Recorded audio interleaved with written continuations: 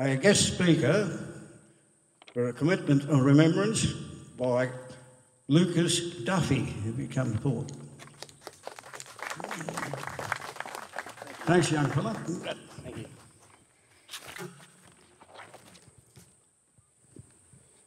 Ladies and gentlemen, good morning, and thank you for being here today on this beautiful Anzac Day morning.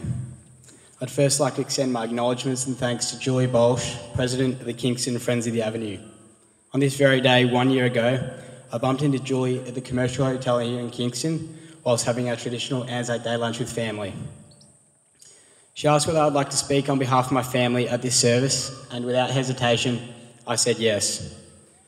Julie's contribution to the Avenue of Honour and indeed the wider community is simply extraordinary, as you all would agree. I would also like to thank my great uncle, Kevin O'Connor, who has been instrumental in documenting our family story.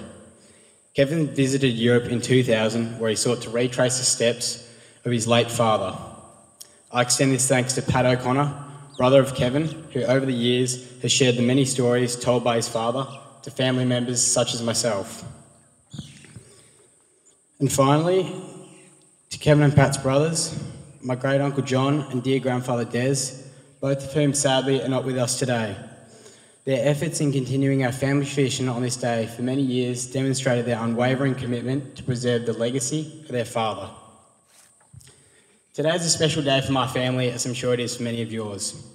It is a day where all Australians both reflect and commend the efforts of all ex service men and women who have served our country those who have gone before us, and those who continue to serve. One of those people is my great grandfather, John Thomas O'Connor. My mother's side of the family, the O'Connor clan, has been coming to the Avenue of Honour for many years now, long before I was born. Here's where our family would gather every Anzac Day below the large Dutch elm tree. My earliest memories of these visits were my sister and I, along with our cousins, playing next to our grandfather's tree and in the surrounding fields. During these years, I never quite understood the true importance of this family tradition and indeed the significance of this day. As we grew older, however, this annual occasion meant so much more to us.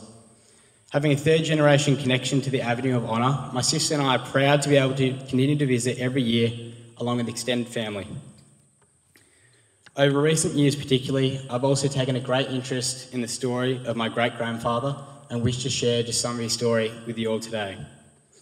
John, also referred to as Gunner O'Connor, enlisted for the First World War in March of 1917 in Queenscliff. He was attached to the 36th Heavy Artillery Group and at just 22 years of age would join the Western Front in Flanders in November of 1917, near the France-Belgium border. My great grandfather was a trained gunner, equipped with howitzers, which are large guns with a range of up to 10,000 yards. These guns, once in position, were effectively immovable. This is because special trenches had to be constructed to accommodate the recoil of the guns and for storage for their heavy ammunition. By the time he arrived on the Western Front, a change in war tactics, led by the well respected Allied General John Monash, made the role of artillerymen more crucial than ever before. These tactics developed by Monash involved the use of strategic and calculated heavy artillery shelling in conjunction with the movement of troops, as opposed to the two being a separate operation. While sounding simple now, this concept was revolutionary at the time and played a major role in swinging the momentum of the First World War in the Allies' favour. One extraordinary story which I was once told by my late grandfather was of his dad, Gunner O'Connor, and his unit suffering a direct hit on an ammunition dump. This was all during a major offensive by the German forces following the winter stalemate of 1917-1918. In the mayhem of battle, he was blown up into the air, suffering a gas burn and a shrapnel wound in his lower arm, which he would carry for the rest of his life. The unit was forced to pull back from their initial position on the battlefield and, on one occasion, moved some 10 kilometres down the side of a valley before they were again forced to move just days later. What I found extraordinary was just how vulnerable troops would have been during these retreats. The pace at which the unit was able to move was slow, forced to lug enormous artillery guns weighing many tons across farmland, hills, and roads, which were largely exposed to enemy forces. My great uncle Kevin documented this during his visit to where his father fought. Kevin walked along one of these very stretches of roads on a hot summer's day in 2000 and detailed just how chaotic and risky these ordeals must have been. Our troops encountered horrific conditions during their time on the Western Front, constantly exposed to rain, mud, and unsanitary conditions. My great grandfather shared stories of the war to his children and often referenced the knee deep mud they encountered, with many forced to persevere and struggle through it, all whilst under enemy fire. It is stories like these reflect the senseless and dehumanising nature of war and the unimaginable physical and psychological toll it takes on those involved. John O'Connor spent a year in Flanders on the Western Front by the time of the armistice in November of 19, 1918. Of the 165 other rank officers in his unit, 32 of them would never return home. Fortunately for my great grandfather, he would sail home in April of 1920, alive, but perhaps like many, never quite the same. This is just a small part of one family story.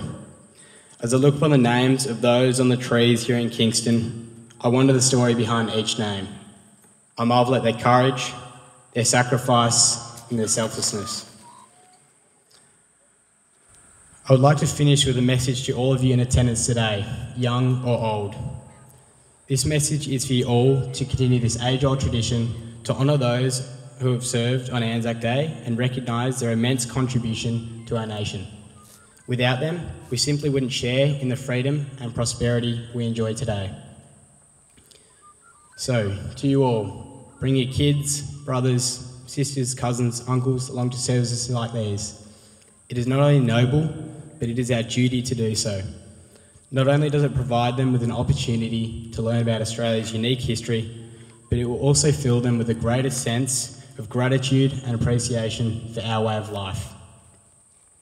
I hope that this day gives you all this perspective on life one of appreciation for what we have instead of worrying about what we don't have. I wish for all people, particularly my generation, to feel the same way. I'm beyond grateful that from a young age I was taught about the importance of this day.